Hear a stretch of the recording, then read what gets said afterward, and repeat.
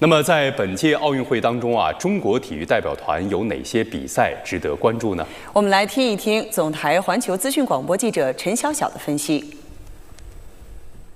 在巴黎奥运会备战周期，中国代表团中的很多项目都完成了新老交替，踏上新的奥运征程，有什么样的看点呢？先来说乒乓球，巴黎奥运会备战周期，乒乓球队内世界排名第一的选手变成了孙颖莎和王楚钦。巴黎奥运会上，孙颖莎和王楚钦作为混双排名世界第一的一对选手将联袂出战，他们两个人还将出战单打和团体的比赛，身兼三项。在这个奥运会备战周期，很多外协会选手的进步也是显而易见的，但是通过这半年的比赛来看，他们还是很难对中国乒乓球队构成威胁。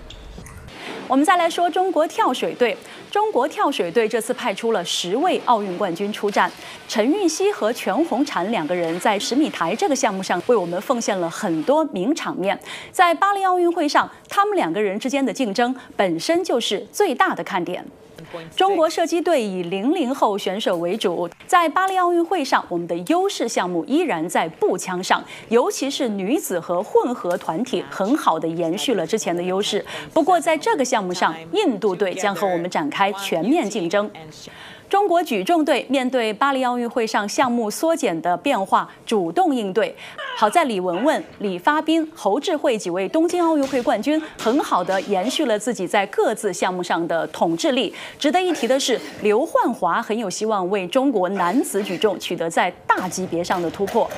此外，中国游泳队无论是蝶后张雨霏、蛙王秦海洋，还是我们在自由泳上最大的收获潘展乐，他们都将身兼多项。因为中国游泳队有多名选手，他们都是正值当打之年，所以我们在多个接力项目上也是很有竞争力的。说到游泳，也不要忘了中国花样游泳队，他们在这个奥运会备战周期已经成长为世界一流强队，所以在巴黎奥运会上，他们将如何应对新的规则？如何在难度和完成度之间进行平衡，也是一大看点。这几年，中国体操队邹敬园和刘洋在双杠和吊环项目上很好的保存了实力。张博恒首次参加奥运会就以队长身份出战，这位零零后的小将在男子个人全能项目上很有竞争力。女队方面，我们很好的保存了在高低杠和平衡木上的优势。十七岁的小将邱其元在多个单项上具备竞争力。中国羽毛球队尽管在五个单项上有四项都排名世界第一，但是我们依然以冲击的姿态去比赛。好在之前队员们参加过巴黎奥运会的测试赛，对于场馆非常熟悉，应该可以很快进入比赛节奏。